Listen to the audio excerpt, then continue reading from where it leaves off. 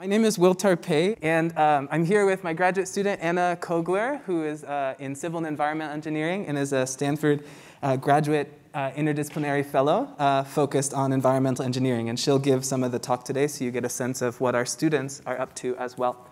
Today we're going to talk about wastewater and the kind of crazy, futuristic, but possible idea of making water pollution obsolete and a thing of the past. Water pollution, what do you think of when you think of water pollution? Either pollutants or what, what does it make you think of? You can just shout out an answer. Chemicals, PFAS, forever chemicals, sewage, what else? Oil. Oil. Fertilizer. What, what else? Trash, Trash absolutely. Medicine. Medications, plastics. Coal dust, right? There's so many things that can dirty up water and make it what we call wastewater. So a friend of mine recently um, reminded me of this quote, and I really love it. It's from uh, Buckminster Fuller, who you may know of as one of the, uh, or as he's popularized uh, fullerenes. Fullerenes, which are kind of six, 60 carbon geodesic molecules. But he, uh, several decades ago, said, said something that in many ways is the vision of the research we do in my research group. And it's that pollution is nothing but misplaced resources, right? We only call things pollution when they're in the wrong place at the wrong time.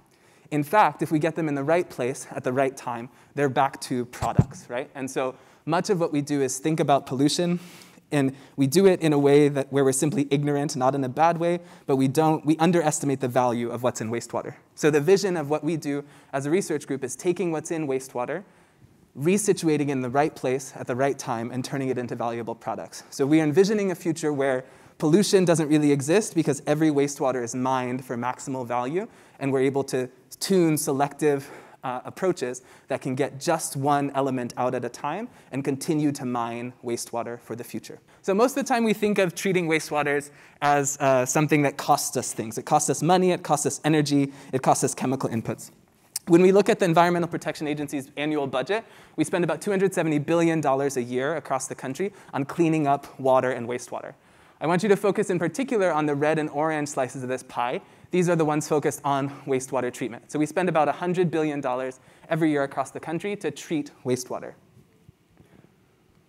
Um, when we think about California, we spend about 20% of our state energy budget on treating and transporting water. And so many of you may be familiar with the State Water Project, which takes water from Northern California down to Southern California. We also spend plenty of energy desalinating water and doing other things to make uh, water useful to us. Finally, we spend a lot of chemical inputs to be able to treat water, so, wastewater so that it's dischargeable to the environment. These are things like flocculants and coagulants that are in primary wastewater treatment, and also disinfectants like chlorine or hydrogen peroxide to clean up wastewater at the end. Um, so as we think about this, wastewaters are not just a way to uh, wastewaters are not just a source of expenses, but they can also be a source of products, as I mentioned. So we kind of jokingly call this our food pyramid within the lab. These are all the things that we can recover from wastewater. And our goal here is to move up this pyramid to recover not just energy and fuels, but to recover things like fertilizers, like some people mentioned, commodity chemicals that are used in large amounts, and also fine chemicals. What if we could recover pharmaceuticals from wastewater and, and, and put them back into a pharmaceutical plant? What if we could recover dyes or precursors to very expensive uh, molecules like polymers or uh, monomer precursors? And so this is our, our goal here is to diversify the portfolio of wastewater-derived products by increasing value and potentially decreasing volume as we go up here. But that's okay because you might not have as much, but it's of much higher value. So we're constantly trying to produce higher purity, higher value products from wastewater. So we think about this a lot in terms of cycles. And so many of you have probably heard the concept of a circular economy, broadly speaking. Uh, meaning that we try to turn these lines in the economy where we extract raw materials and then end up emitting pollutants, we try to turn those and bend those into circles instead. And we do this by focusing specifically on element-specific economy. So rather than the broad idea of a circular economy, let's make a lithium circular economy, a nitrogen circular economy, a phosphorus circular economy. And so these kind of go through several different parts of our society, whether it's wastewater treatment, agriculture, industries, and our job as we see it is to design these red boxes where you see recovery happening. Most of the time in chemical engineering, and manufacturing, we use different driving forces, like temperature or pressure, to make a reaction go in the way that we want it to. Here, we're also introducing electricity as a way to do this, and this is a way of electrifying manufacturing. If since we have many electrons from renewable energy, why not use solar energy, use wind energy, et cetera, to power some of these next generation manufacturing processes? Let's go to the next slide. So there are many, many element-specific circular economies. Um, we don't have time to talk about all of these today, but I wanted to just introduce you to some of them as a way of um, kind of igniting your imagination or validating some things that you've already thought about. Kind of, why don't we make products out of desalination brine? Um, turns out we can at the bench scale in the lab. We want to try to scale that up. We can also think about recovering phosphorus, which is a scarce material, and some estimates put us at running out of this, whether it's in decades or centuries, but it's a, it's a scarce and limited material. Sulfur is a key component of many fertilizers and also um, uh, many industries, and so we can recover this from several wastewaters. And then most recently, we've been doing work very close to um, energy uh, focused on lithium ion batteries and being able to recover lithium from spent batteries. And this is because lithium ion batteries, as we are all thinking about Teslas and we're using our cell phones, all these things, lithium ion battery consumption is increasing, but we're not sure what to do with those once they reach end of life. What if we could recover the lithium from them and make a lithium circular economy? This is, th these are the things we we dream of and we try to make happen. Let's go to the next slide. So, most of today we'll focus on nitrogen, but we'll look at a few other elements as well. Why do we focus on nitrogen? Nitrogen is one of the biogeochemical cycles that humans have changed the most. Many of us have thought a lot about the carbon cycle, which of course is something that humans have changed drastically. To put this into perspective, humans have changed the total amount of carbon on Earth by around 10 to 20%. We've changed the total amount of nitrogen on Earth by more like 100%. Okay, so carbon emissions, of course, are closely tied to, to uh, greenhouse gases and other kind of runaway climate effects. But you'll see in a second that if we look at the natural nitrogen cycle, it's well balanced, but humans have skewed this due to fertilizer production by the Haber-Bosch process, and we're not able to remove as much nitrogen as we would like from wastewater treatment plants. And so this does two things. It doubles the throughput of nitrogen in the environment and also skews this uh, very important and critical um, uh, cycle. So let's go to the next animation. So our goal here is to recycle this nitrogen in place uh, through separations and also through uh, reactions. And so what are the consequences of the nitrogen cycle as we know it now? In most cases, what it leads to is these harmful algal blooms. So um, this is a remote sensing satel a satellite photo from uh, the Gulf of Mexico. And so if you've been in the Gulf of Mexico or you've been in the Midwest and some of the Great Lakes, you may have seen these green algae blooms that, pop up every spring, right? And so in the Gulf of Mexico, there's a New Jersey-sized plume that happens every year. And what that is is algae that are over-consuming nitrogen that we emit from our wastewaters. They overconsume oxygen, and that leads to fish kills, and it changes aquatic ecosystems. And so this New Jersey-sized plume, what do we do about it every year? Really nothing. We just wait for it to turn over naturally. What we're trying to do is prevent that plume before it happens. So let's go to the next slide. Nitrogen also plays a critical role in fertilizer production. Um, the Haber-Bosch process is probably one of the processes that affects us most, but many of us don't know about or don't think about so much. And that's because it's really been the way that we've fed the world over the 20th century. So Haber-Bosch supports about half of global agriculture. And so here on this graph, you're seeing a comparison of what the world population has been with Haber-Bosch and what it would have been projected to be without Haber-Bosch. So when we look at this, if we go to the next, uh, next slide, we can see back on this reactive nitrogen, what we've done again is doubled the sources of reactive nitrogen. And this need is only going to intensify. As we have increasing numbers on Earth, we're going to need to continue to increase our agricultural output. So uh, we're just going to need to keep doing this more and more and more. Let's go to the next slide. And so current nitrogen management has a few challenges. Environmentally, as we saw before, this is now a satellite image of uh, Lake Erie outside of Cleveland. We, get, we put over 100 megatons of nitrogen into aquatic environments every year.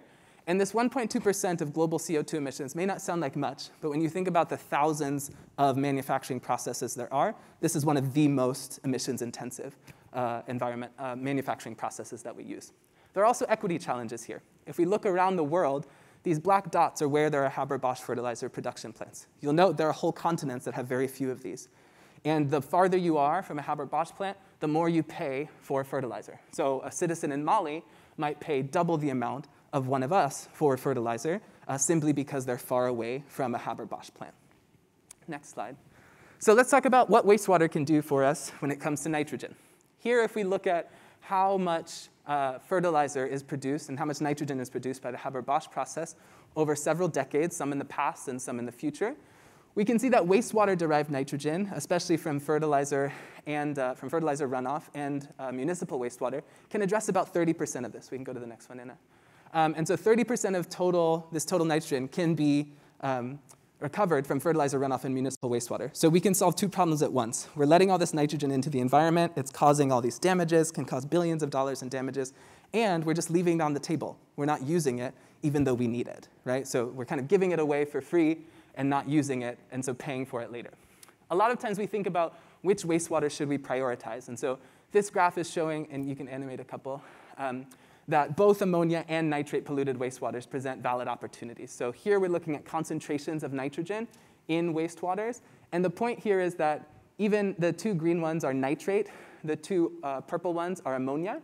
And you can see that in short, nitrate uh, polluted wastewaters are less concentrated, but they're more abundant. There's more of them. And so these present about equal opportunities on an order of magnitude basis uh, to recover nitrogen from. Let's go to the next slide.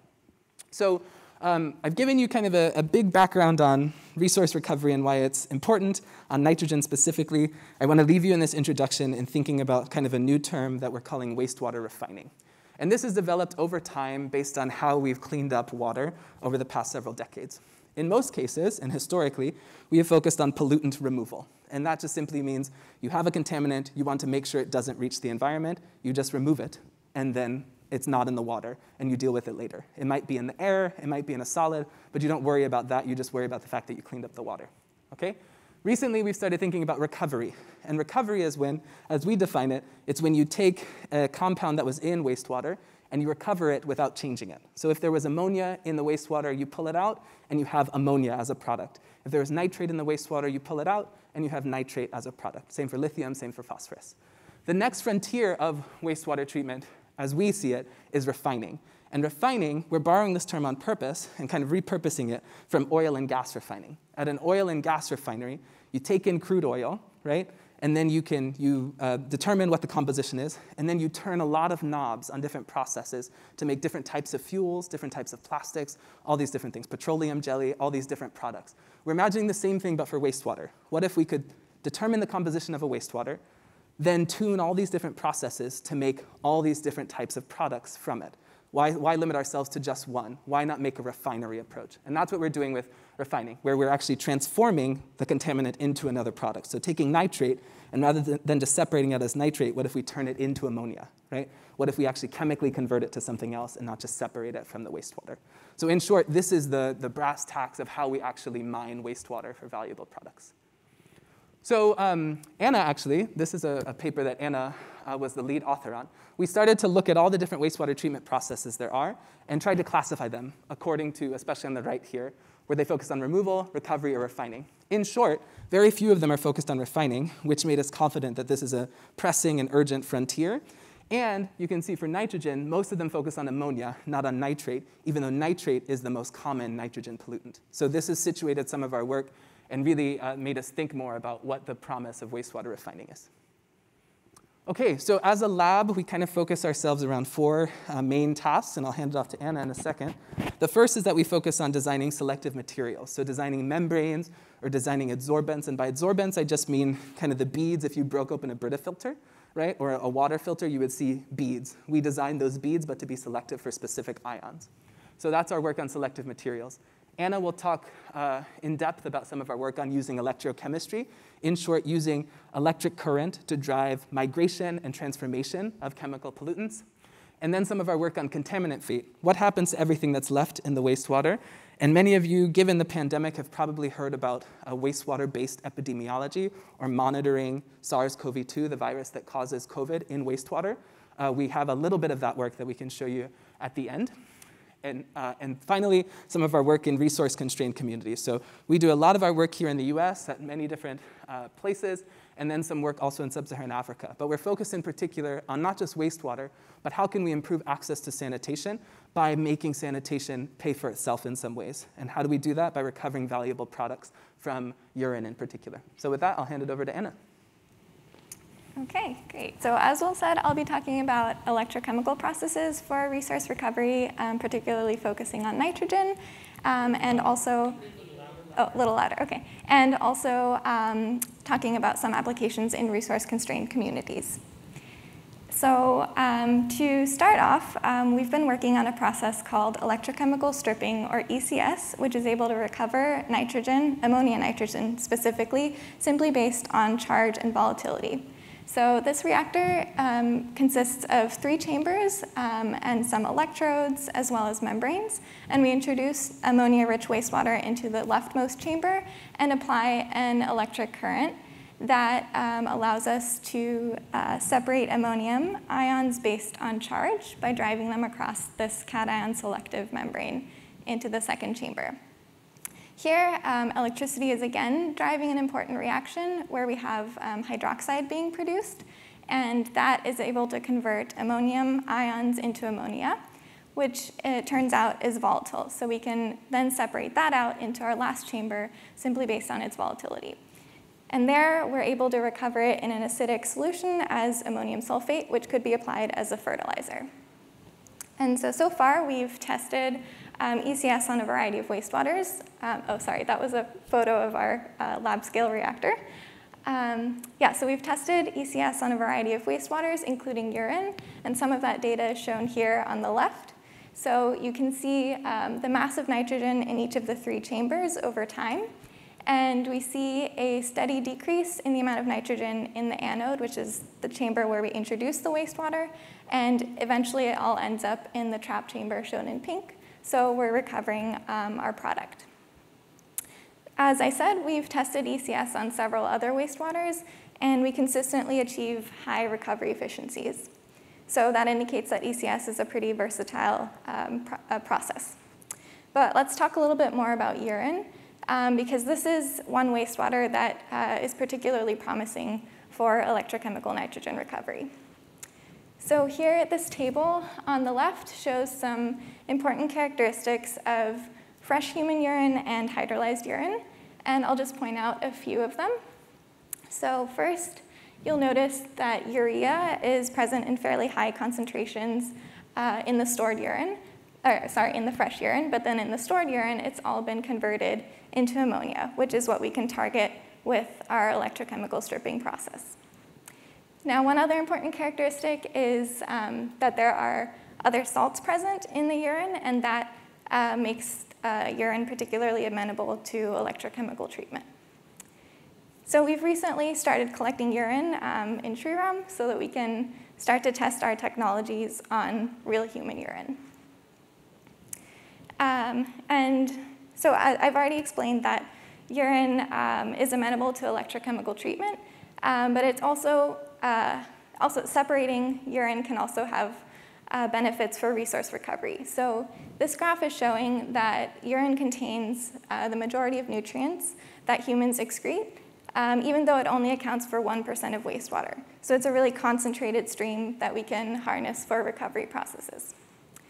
And we already have the technologies to achieve urine separation. Um, it's just a matter of starting to implement these more widely. And so we recently started working with Waste Development, or Wasted, which is a startup that is focusing on um, bringing urine separation to uh, the portable, portable sanitation systems in the US. And we're hoping that our collaboration can ultimately lead to scale up of uh, urine separation, um, and kind of this uh, research center where uh, we're able to test urine treatment technologies. So um, I've talked about electrochemical stripping um, as a way to treat urine and other wastewaters um, and to selectively recover uh, ammonia from those wastewaters as ammonium sulfate. But we're also interested in expanding the product and pollutant portfolios um, that we can treat with electrochemical processes. So on the product side, we've been working on a process called flexible electrochemical stripping, which is very similar to electrochemical stripping, but it's able to recover ammonia as both an acidic ammonium product and alkaline ammonia. And that's um, advantageous because, uh, as I said, acidic ammonium is useful as a fertilizer, but alkaline ammonia could be used um, as a chemical feedstock, a disinfectant, and maybe even a fuel. And then on the pollutant side, we have been targeting um, primarily ammonia so far, but we're expanding um, into looking at nitrate, as Will talked about um, earlier. And so we've developed a process called electrodialysis and nitrate reduction, or EDNR, to do that. So I'll go ahead and talk a little bit more about FECS, or flexible electrochemical stripping.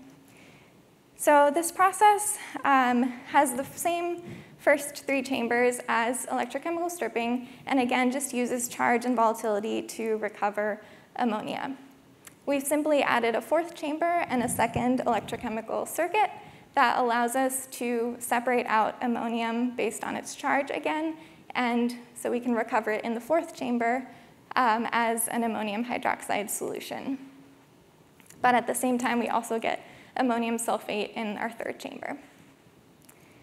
So this figure is showing um, some experimental data on this process where we're looking at removal efficiency in blue and all the different recovery efficiencies in green uh, over time. And we see that removal occurs quite rapidly. Um, and when we only operate the first electrochemical cell, in FECS, we primarily recover ammonium sulfate. However, once we turn on the second electrochemical cell, we see a decrease in the ammonium sulfate and an increase in ammonium hydroxide. And so we're really able to tailor the product speciation simply by controlling when we apply electricity to that second uh, cell. And this ability to tailor product speciation has the potential to um, expand the context in which we can apply um, these, these, electrochemical recovery technologies um, and allows us to respond to changing market conditions. So for example, our partner, Delvic Sanitation Initiatives in Senegal, operates both rural and urban treatment plants. And so it might be advantageous to produce one type of product in one location and a different one um, in the other. Uh, great, so now that I've talked about um, how we're expanding product portfolios, let's switch over to talking about different pollutants and how EDNR or electrodialysis and nitrate reduction helps us do that. So EDNR um, is a process that can treat both ammonia and nitrate and recovers both of these as ammonia. And it relies on two phases. First, electrodialysis, and second, nitrate reduction. During electrodialysis, wastewater is introduced into the middle chamber here, and we uh, separate out ammonia to the right chamber and nitrate to the left just based on their charges. And then during the second phase, we change the electrodes to which we apply the potential, and we're able to reduce nitrate to ammonia in the left chamber. And we can continuously switch between these two modes to increase the amount of ammonia and nitrate that we're recovering. So looking at the performance during the first phase, electrodialysis, we can quantify an electrodialysis efficiency, which is simply the fraction uh, or the ratio of the amount of ammonia that ends up in the right chamber relative to the amount of ammonia that started in the middle chamber. We can see in this figure that as we operate the process for multiple cycles, we can increase that electrodialysis efficiency. Then moving on to the nitrate reduction phase, we can look at a nitrate reduction efficiency, which is simply the, the amount of ammonia that's formed in the leftmost chamber relative to the amount of nitrate that's present in the middle chamber initially. And here again, looking at uh, multiple cycles of operation, we see an increase um, in nitrate reduction efficiency over time. And so, so far, we have demonstrated proof of concept for this process, and we're working on some more fundamental studies to continue to improve its performance. And so with that, I'll just summarize quickly um, that we're working on developing electrochemical processes that are able to treat multiple contaminants um, and turn them into multiple types of products um, to facilitate a circular nitrogen economy. And I'll turn it back to Will. Fantastic. Okay, I think I just have to point this better. Okay, so Anna's given us some great background on electrochemical processes, so I'll um, give you some more uh, background on the selective materials that we're making in the lab as well.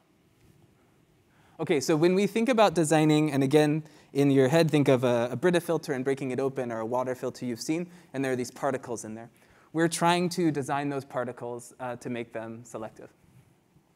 Um, and so there are three things we think about. Capacity, and an analogy you can think about is a parking lot, right? Um, so capacity is how many, how many uh, lots there, how many uh, spots there are in the parking lot. And then we can also think about selectivity.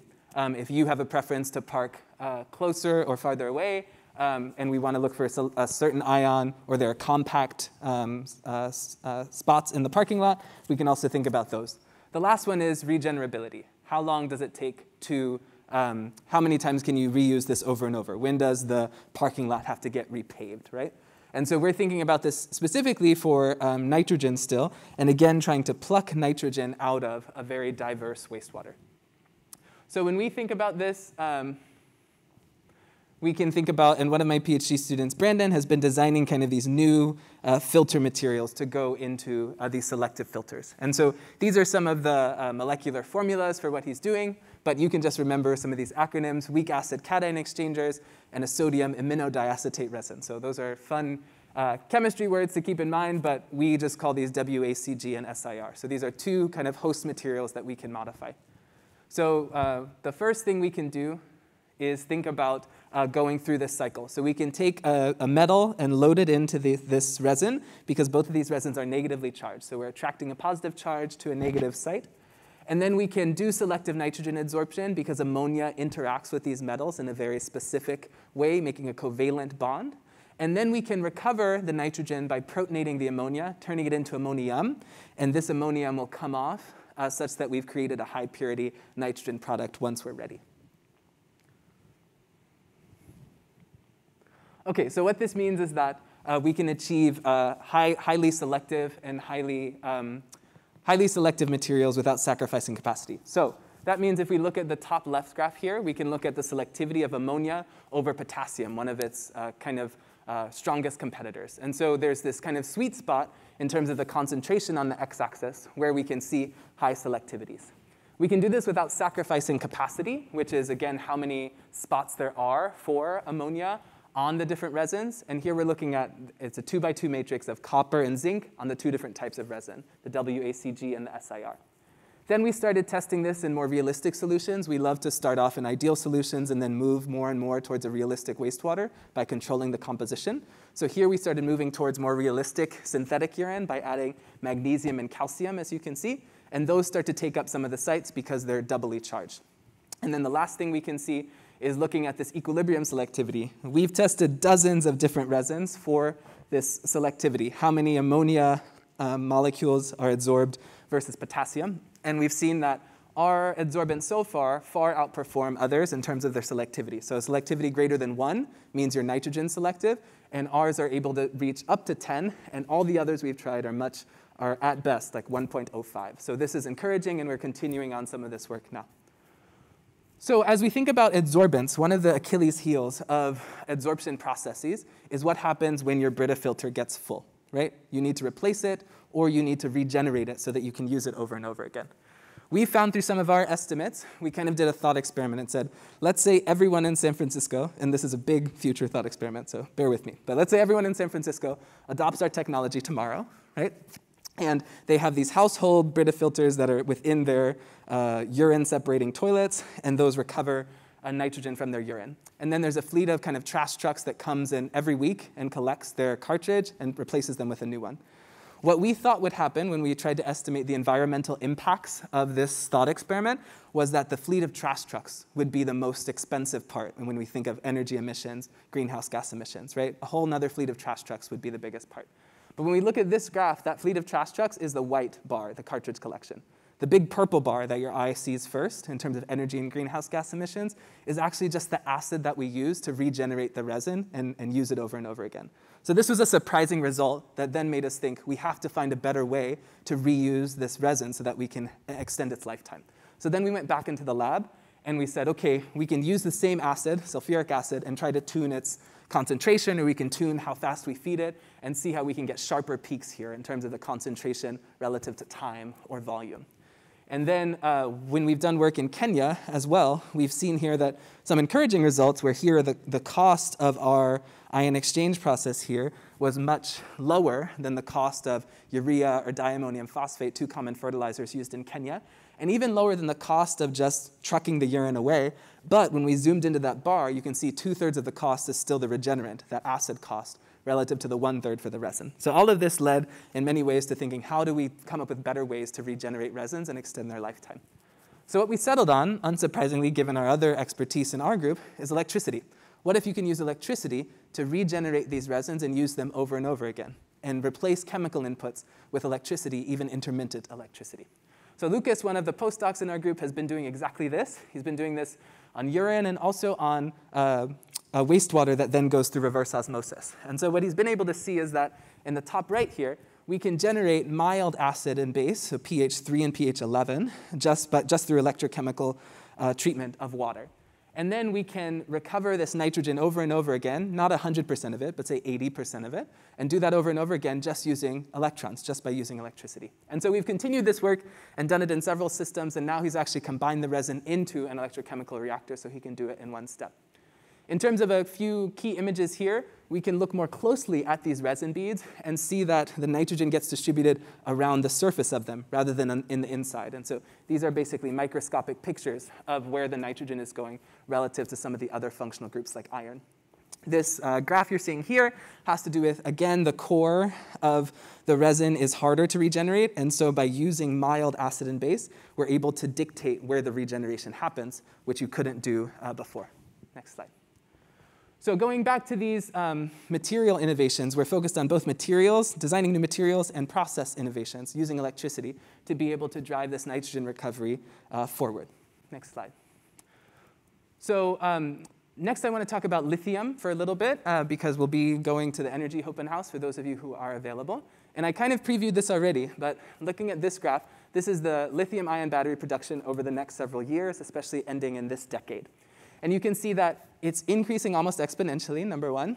And two, the biggest portion of this is EVs, electric vehicles, okay? And so then if we're looking at where is all this lithium gonna come from, these supply chains are starting to take form, but demand is increasing, and so we're gonna keep consuming lithium and mining lithium. We have to think really intelligently, and we have sort of a gift opportunity here to think about the end of the life cycle, even while we're still uh, early in the design process of lithium ion batteries. Where are we gonna get lithium from? Now, interestingly, if we look at this from a mass balance perspective, one ton of lithium that's battery grade can come from 750 tons of brine, right? So this is like, you may have heard of salt lakes where we can recover lithium from. 250 tons of ore if we're mining it, or just 28 tons of batteries that we've already put our work into making. So the choice here is really obvious. Go after the batteries. That's where it's most concentrated, and that's where you can get the most bang for your buck. But we're seeing that only less than 1% of lithium is recycled at this, at this point in time. So there's an opportunity here. How do we think about recycling lithium from batteries, and how do we think about what this should look like in terms of a circular economy? So uh, for those of you uh, who know a lot about electric vehicles, they have lots of different types of batteries that we can use. So one is a nickel manganese cobalt, or NMC 111, because they're kind of equal in their masses. As you can see, their mass weights. Okay? But lithium is, is currently in recycling methods, it's left in the waste product, right? So it's in the slag here in normal metallurgical processes. What we're proposing is actually to move the lithium separation up and do it first. But what that means is we need to be quite selective in doing it, which we're not able to do. And so that's what we're working on now. One of my PhD students, Sam, is using actually algae and trying to use algae to make natural biodegradable resins that are also highly selective for lithium. And so algae have this kind of egg crate formulation. So think about when you put an egg in a carton, and there's this support structure here. And there's different um, sizes of, of atoms or ions that can fit within that egg crate. And Sam is designing these egg crates to, that have normally been made for poly or multiply charged ions, like manganese or like cobalt, but designing this for lithium instead. And so again, this we're using mild pHs here to regenerate and do the work for us. And these are made from algae rather than fossil fuels. Next slide. And then she, one of our postdocs, is working on a similar approach, but for membranes that flow through instead of these adsorbents. And so he's taking reverse osmosis membranes that are polyamide as a platform, and then changing the ligands, or these uh, adsorbing molecules in the membrane, to facilitate lithium transport selectively. And here, the separation to go for is lithium versus magnesium because they're so similar in size. And so this graph is just showing, if you look at um, lithium in the middle here, and magnesium, you can see lithium is here, magnesium is here. These have very similar bare ionic radii. And then on the y-axis you're seeing here is with the waters of hydration. So this is why we try to separate lithium from magnesium as the hardest separation to do, and then lithium from sodium as the second hardest. Next slide. So in conclusion, in terms of uh, what we're doing for selective materials, we're focused first on adsorbents and second on uh, membranes. You can go ahead and animate, Anna. Um, and then what we're focused on is trying to recover the maximum value we can from batteries. And this graph is just showing again for things we recycle all the time, glass, metal, plastics. This is the basis for it. This is how much we can get from them, right? We're getting around a dollar per kilogram. Here for batteries, we're more like in the several dollars to $10 per kilogram. The opportunity here is huge. The urgency here is even bigger. So let's go on to the last part here. We're going to talk about contaminant fate here and talk about sensing, and then the last idea of wastewater-based monitoring. So back to the nitrogen story here. One of the big challenges left in our environmental engineering and chemical engineering field is being able to sense pollution before it happens. Right now, we're always playing a catch-up game. Pollution happens, there's a big spill, and we think, oh my gosh, we have to clean it up. What if we could sense that pollution is happening first and clean it up before we start to see the spillover effects? When we look at nitrogen, one of the challenges here is that nitrogen doesn't come most of the time from point sources. You can't find the pipe where it came from. Instead, it comes from runoff. It comes from these dilute sources that we can't control. And so that means there's a huge need here to be able to sense nitrogen in the environment. And our solution so far, in collaboration with uh, several other labs here at Stanford, including uh, Professor Senesky in aeronautics and astronautics and Professor Maher in, um, in Earth System Science, is to have distributed and deployable uh, nitrogen sensors. And what if we could have these? They're in the water and they're just down a coastline, down a river, uh, down a stream. And they tell us when the nitrogen uh, concentrations get too high, and then we deploy a solution there to clean it up. And this would happen before all the algae blooms happen, and thus help us to clean up pollution before we start to see the runaway effects. So we've done this by starting to miniaturize electrochemical stripping and 3D print some of these reactors and then the key here is to use capacitance, which is just about a change in charge to be able to really um, sensitively detect ammonia. So what does this look like? You've seen a, a graph like this before, but in a different way. This is a mass balance of ammonia concentrations over time in electrochemical stripping, but now for a miniature sensor instead of for a big treatment process. And the difference here is that for a sensor, let's start with the treatment process. For a treatment process, you need to be able to remove as much as you can, right? I don't, if my student comes to me and says, oh, Will, I removed 30%, I say usually, that's not good enough, we want 90, right? But if instead we just need to sense, we don't need to remove it all, we just need to always get 30%, right? And that means that we can track, based on the time here, how much, uh, how much time we need to sense for before we know where we are in terms of where the ammonia is in which chamber. So then what we've established is that by capacitance, which isn't selective, but just detects changes in charge, plus electrochemical stripping, which isn't sensitive, but is selective, putting those together is what allows us to sense nitrogen in any wastewater. And so we've been able to do this um, and go over a huge concentration range. And in green, you're seeing here lots of different wastewaters and environmental waters. In gray, you're seeing kind of comp competitor sensing methods. And in orange, you're seeing this combination of electrochemical stripping and capacitive detection that gives us a wide range of detection limits. Okay, so we'll wrap up with the story I've mentioned a couple times, which many people are doing across the country and the world, which is being able to mine health data from wastewater. So wastewater can give us things like lithium, so, um, uh, magnesium, it can give us potassium, uh, nitrogen, uh, sulfur, all these other things. It can also give us data about big populations in a way that drives public health interventions. So what this requires, and this is a civil and environmental engineering student in my group, Lorelei, is working on sampling at wastewater treatment plants, quantifying specific uh, genes uh, of the, of the SARS-CoV-2 virus, and then being able to calculate population and infer community health, such as prevalence of COVID in this case. And so we're not the only ones doing this for sure. There are hundreds of teams all around the world, and you've maybe seen news articles about this. And believe it or not, this was happening before uh, the COVID pandemic.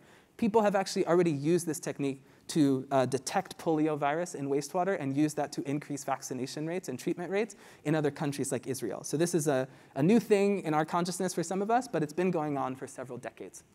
Let's go to the next part. And what Lorelei has been working on specifically is high resolution sampling. Most of the time we can sample once a day and we just go and grab a sample and hope that it's representative, right? Lorelei instead went to a treatment plant for three days and collected samples every single hour and then tried to see if that uh, would help us in, uh, dictate the decision about when, when to sample uh, most effectively. So what we did is we sampled during a low incidence period of new COVID cases in our area, and we sampled from a wastewater treatment plant local to the Bay Area. So this was in March of last year, uh, which feels like forever ago and yesterday, right, for many of us. Um, but what we looked at were some diurnal loading patterns, and so just over time, you can see the SARS-CoV-2 uh, RNA, the nucleic acids here, And we're looking at two different targets within that. So just think of those as two different genes. And so uh, what we can see here is there are some times where we see, and you're looking at time on the x-axis. So there are some times when we can sense it, and sometimes when it's below the detection limit in the red line. Then we also looked at things like the total flow in black, and also the ammonia in, uh, sorry, the ammonia in black and the flow rate in blue. And so what this allows us to do is hopefully use ammonia as in kind of a baseline of how much wastewater there is, and then use the SARS-CoV-2 um, uh, uh, gene count that we get and normalize those two so that we can estimate the total population and the total population uh, that is infected with COVID or is at least releasing COVID in their stool, or releasing SARS-CoV-2 in their stool. So, wrapping up here, resource recovery, we've gone a lot of places, but hopefully you've grabbed onto at least one vignette that makes you think about the fact that wastewater is something that is full of resources, whether it's health data, whether it's uh, battery precursors, whether it's fertilizers, disinfectants. We haven't even talked about rocket fuel and jet fuel that we can recover from wastewater. But in short, the sky is the limit. There's so many things in wastewater uh, that we can recover, and it's simply an opportunity that's huge and one that's worth taking advantage of. So I'll leave you again just with this quote to kind of chew on and think about later. But again, that pollution is nothing but resources we're not harvesting. It's resources we've left behind and decided they're waste. Another way of thinking about this is when we think about biology or life cycles, there's no real such thing as waste. Any organism's waste product is consumed by another organism. How can we design our society to be more reflective of this biological reality? Any waste is repurposed for another, uh, for another uh, use. In short, any wastewater and every wastewater is mined for maximal value. And our children, our grandchildren won't identify the term wastewater because it won't make sense to them. That's kind of the vision we're working towards. So with that, I'd love to thank my fantastic group here and several of our funding sources, many of whom have been here at Stanford to help us get started. And thank you for your attention.